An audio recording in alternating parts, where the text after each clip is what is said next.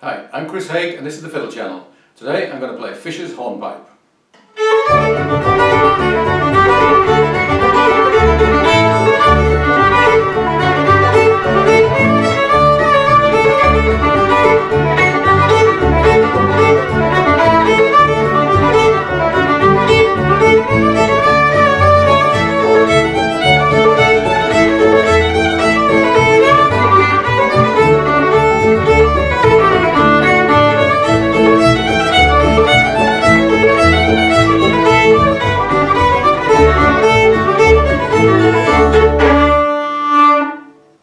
Now, Fisher's Hornpipe is one of the best known of all fiddle tunes.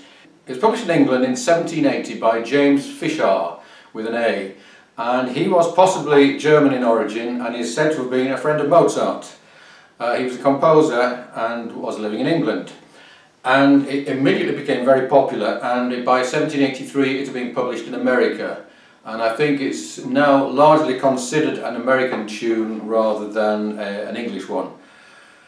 Um, so it's called a hornpipe and this is an interesting story because uh, hornpipes in England uh, had a specific dance and um, a well there were various different feels but the main feel for a hornpipe was the dotted feel so it would have been played like this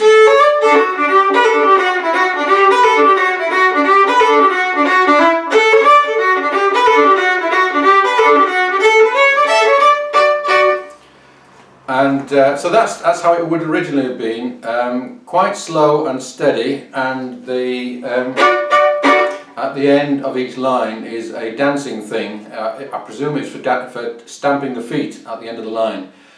And uh, the fact that that remains certainly at the end of the second section um, proves that this was originally a hornpipe.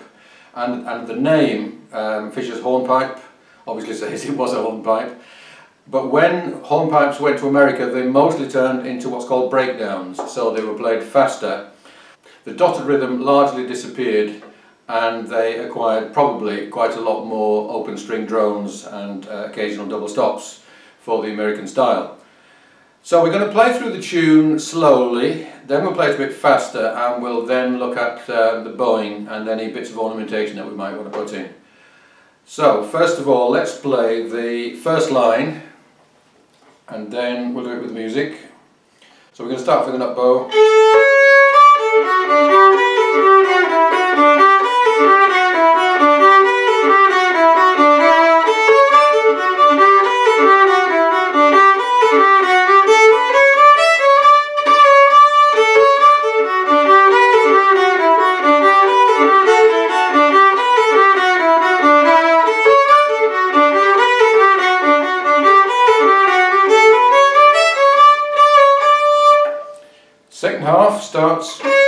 second finger, third finger.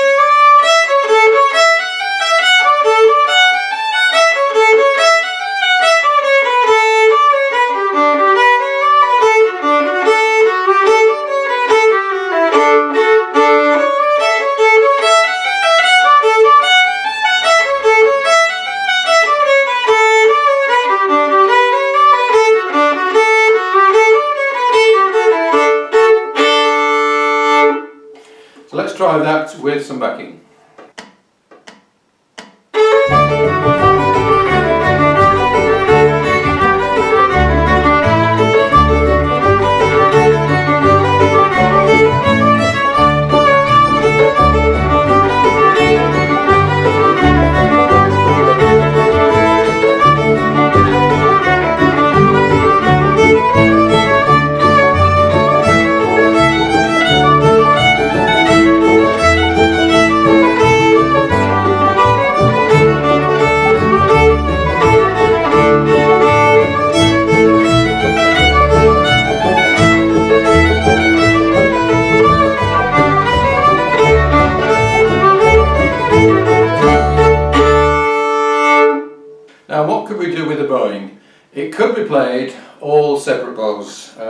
Called saw stroke, so it would sound like this.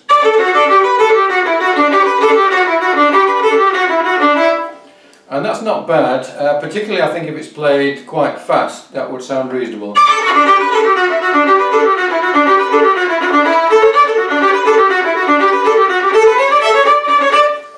but it's a bit unremitting and unforgiving. So I think most bars should have some slurs. And what I've written out here is a pattern which goes almost all through the tune and it's basically five notes separate and then five notes slurred up.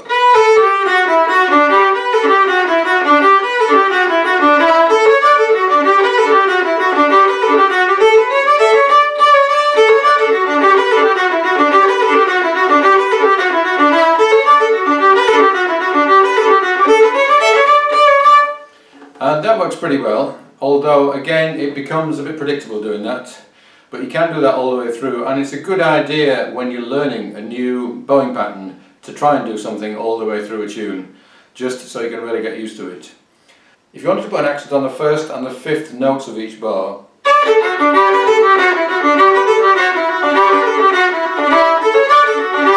then you could do a down and three ups.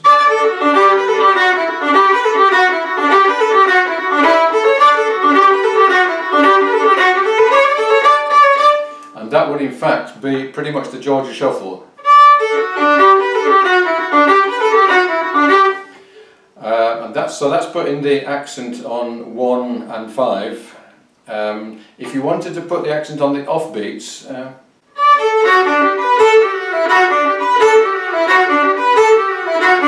then you could do the same 3 and 1 bowing but starting a different place. So if you, if you do your down on the third note, here.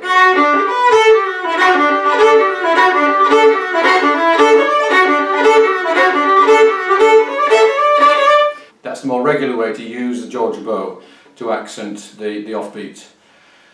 So what I would normally do is to do a mixture of those different bowings um, just so I provide variety and each phrase will suggest to me whether it wants one kind of bowing or another to be honest, it's not something I give very much thought to when I'm actually uh, playing or performing. Um, and that is your long-term goal, that you can, you spend a lot of time thinking about it and eventually you don't think about it at all. So let's try, um, I'll do it three times round to finish and uh, I'll put some variation in as I'm going along, probably a few triplets and some open string drones, which reminds me that um, one way of getting open string drones is to uh, just press down harder. Um,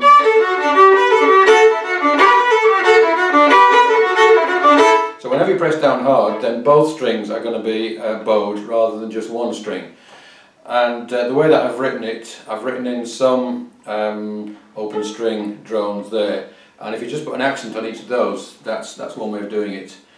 Um, but you don't have to do that.